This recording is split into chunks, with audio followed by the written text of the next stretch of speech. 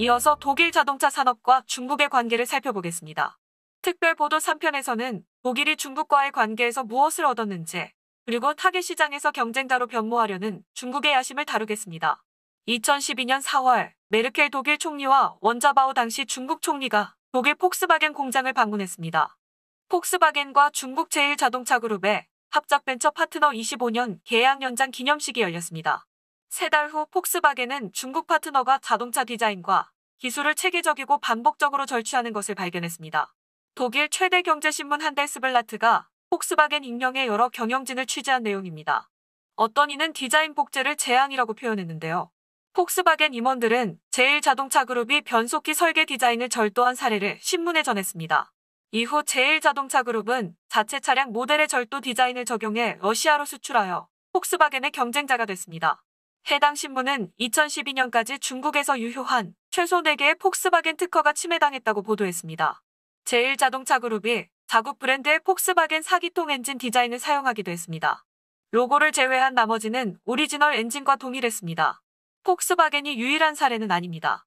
중국은 합작 투자를 통해 서방 기업의 기술 및 지식 재산을 절취합니다. 외국 제조업체들은 다른 나라와는 다르게 중국 현지 제조업체와 파트너십을 맺어야 합니다. 14억 인구 시장에 진입하기 위한 건데요. 최근까지 중국은 외국 기업이 합작 투자 지분 50% 이상을 소유하는 것을 허용하지 않았습니다. 따라서 자동차 업체들이 기술 절도에 이의를 제기하면 비용이 많이 들게 됩니다. 2018년 폭스바겐이 전 세계에 판매한 차량 1000만 대 중 400만 대가 중국에서 판매됐습니다. 대부분 지역 합작법인에 의해 만들어진 건데요. 이제 중국은 서구 자동차 제조업체의 파트너에서 경쟁자로 탈바꿈하려 합니다. 2019년 중국 상무부 보고서에 따르면 중국은 유럽 및 미국과 합작 투자로 제조한 중국 차량 수출을 촉진하는 것을 목표로 하고 있습니다. 해당 보고서는 합작법인들이 중국 시장에 공급하고 유럽과 미국 같은 선진국에도 수출할 능력을 보유하고 있다고 주장했습니다.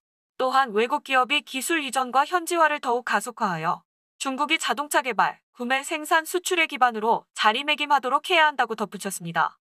보고서에 따르면 중국은 현재 자동차 수출 산업 시장 점유율 6위지만 수출 상승 우위 지수에서는 2위를 차지했습니다. 미국과 독일의 지수는 하락세입니다. 점점 경각심을 갖게 된 독일 자동차 산업. 2019년 독일 산업협회 보고서에 따르면 서방은 중국을 바꾸는 데 실패했고 일부 민주 국가들의 희망과는 다르게 중국 경제는 더 개방적으로 변하지 않았습니다. 보고서는 강제 기술 이전과 지식재산 보호 실패, 임의적인 관세 결정 그리고 라이선스 및 자금 조달에 대한 불평등한 접근까지 중국 내 독일 기업들이 직면한 다양한 문제를 다뤘습니다.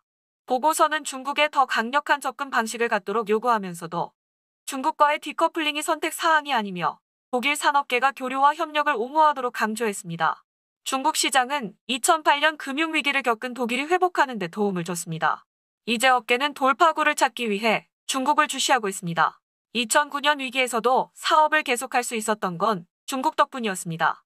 현재 처한 위기도 중국이 타개하도록 도울 수 있습니다. 지난 5월 폭스바겐은 중국 합작법인 지분을 늘리기로 결정하고 중국 전기 자동차 산업에 20억 달러를 추가로 쏟아부었습니다.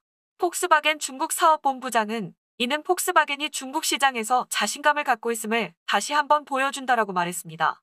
중국 상무부 보고서 서문에서 당 지도자 그룹 소속이자 상무부 차관은 자동차 산업이 중국 경제의 전략적 부분이라고 밝혔습니다.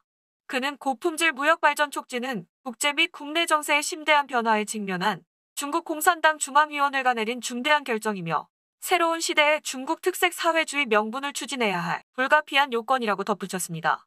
지금까지 NTD 뉴스였습니다.